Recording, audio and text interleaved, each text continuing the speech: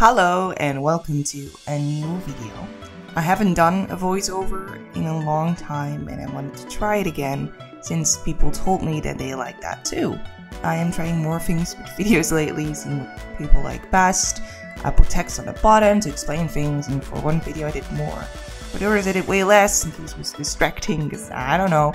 So uh, here's the voiceover try. Feel free to give me any advice down below because this video making stuff is just not going well if you look at my analytics, so any advice is appreciated. Anyway, today we are drawing a character design to represent the constellation Virgo. As you can see in the footage here, I am trying a lot of poses and I just couldn't really sat on one. I use Paint 2 for drawing and I will show my brush settings on the screen here. So pause the video if you are interested in that. Uh, I already made a design for this character Virgo, but I wasn't really happy with the top portion especially, so I really want to show that off. However, I kept going back to the pose from behind, as you can see later, and eventually settled on that one, spoilers, because I just thought it looked really cool and it would fit his personality, I think. I don't know, I just liked it. If you are unaware of the series of character designs I'm doing, let me give you a quick rundown. I am making these blue alien-like characters for the constellations in the sky. I first started with just the zodiac signs because they are the most well known, but I also did other constellations, and I hope to do more because this is just really fun to do. I have somewhat of a world built around it, however it is still a big working process because I mostly concentrate on the character designs as that's, well, that's what I like doing the most. Uh, this project was something I started almost two years ago, I think. It was just to entertain myself. It was something I could go back to whenever I felt discouraged or just had an art block in general. I always wanted to do something with the zodiac signs, that's a very easy thing to get into, and a lot of people have made character designs for the zodiac signs, and I always think they're super fun. Uh, I did want to give it a bit more of my own twist, which mostly ends up being, well, just them being hot guys, and probably royalty too, because I just really like royal character designs. So that's exactly what I did. I made them all princes.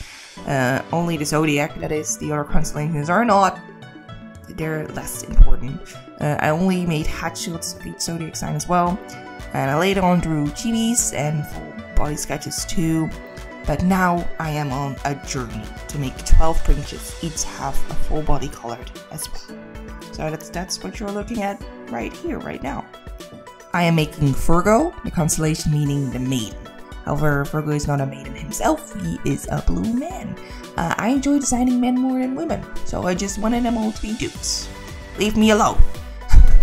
Even though you could say this about a lot of my designs, Virgo here does kind of look like a chick, even more so than his brothers. Just, just a bit, just a bit. I wanted Virgo to be more elegant, more charming, and more feminine than his brothers. I like the idea that he's so perfect and no one has ever had any negative feelings towards him because of his beauty and because of his kindness. I wanted to be to the extreme to make it more of a funny gag than him actually being an annoying Mary Sue or Gary Stu in a MILF version, I believe. Uh, it's always hard to explain the fun parts of your idea, quote unquote funny. so feel free to think this novel. I won't blame you if you think it's cringe. I, I would almost agree with you.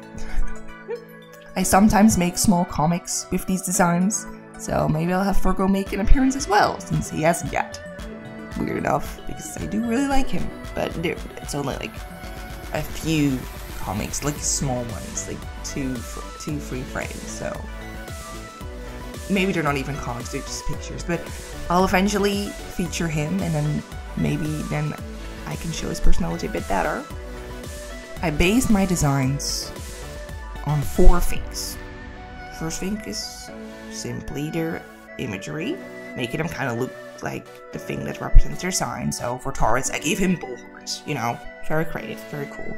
I also based the designs on the myths related to the constellations, so stories that people used to tell about them. And I also base it on the science behind the constellation, like their stars or their research studies and all that. And lastly, I base design on whatever I feel like. Sometimes I just feel something fits, or I just want someone to look a certain way, or just, it's a gut feeling that I refuse to throw away. You may notice that the thing missing from this list are horoscopes. The belief that your personality is a certain way because of your star sign. Now, personally, I think it's bullcrap. you do you if you believe in that, go for it. Let's go. But for me, I find it to be too ridiculous to include. I used to have a little knot to it, making the princess each shoulder element their sign is related to, but I scrapped that later on because, yeah, it, it, it made their designs too busy, especially the earth signs. Because Virgo here is an earth sign. I don't know how they determined that, but apparently. So his old design had him have gems over his body. Uh, I removed those because, again, I thought it was too busy, I didn't like it. Uh, other things I changed about design is the top.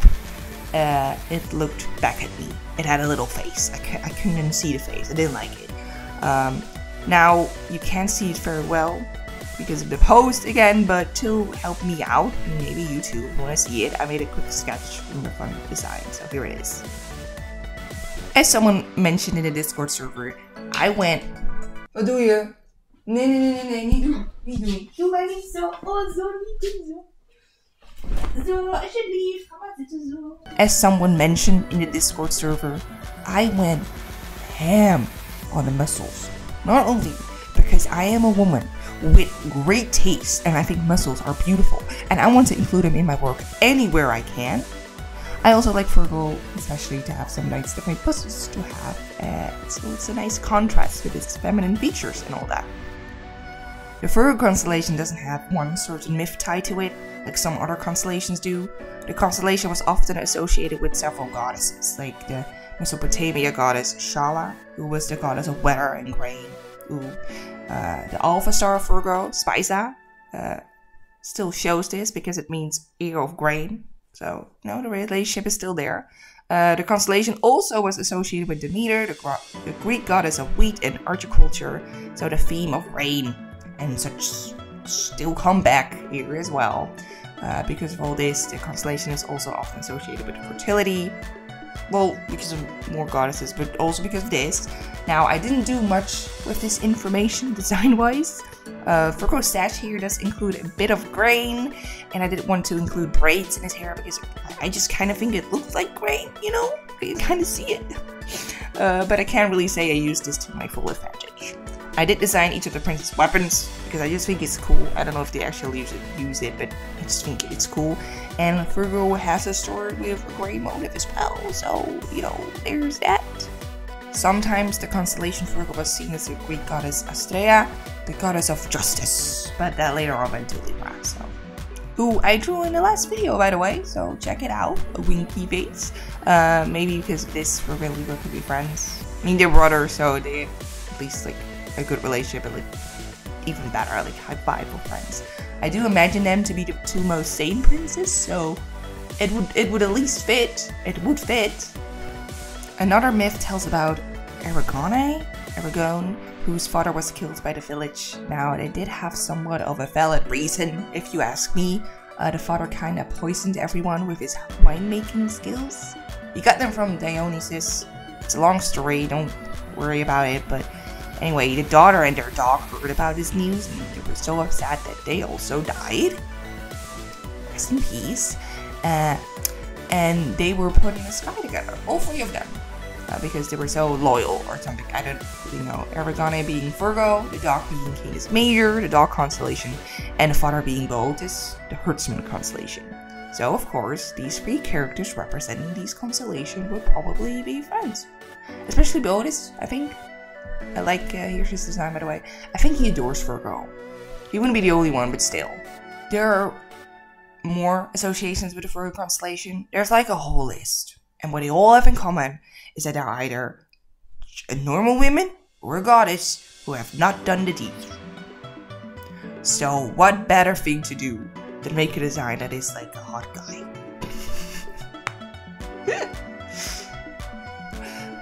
constellations each have a castle or a palace of some sort and represents their constellation as well. Mostly in size and overall idea, uh, they live in that castle together with their stars, who are also character designs by the way, because of course I humanize everything I see. Uh, not all of them of course, constellations have like, the sky has millions of stars, billions of stars. I'm not gonna do that. I don't have that much time, unfortunately.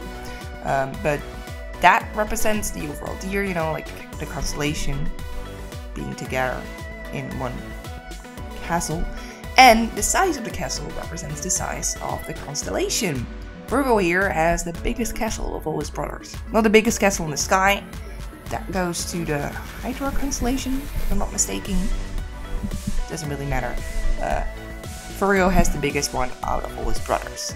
So the sun is present in each zodiac constellation for a period of time each year. That's why they're the zodiac.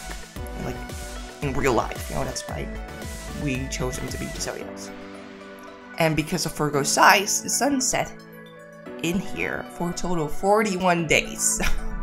uh, in my own word, this means that Virgo rules space for 41 days, and that the sun, who is also a character, of course, lives with him for these days each year.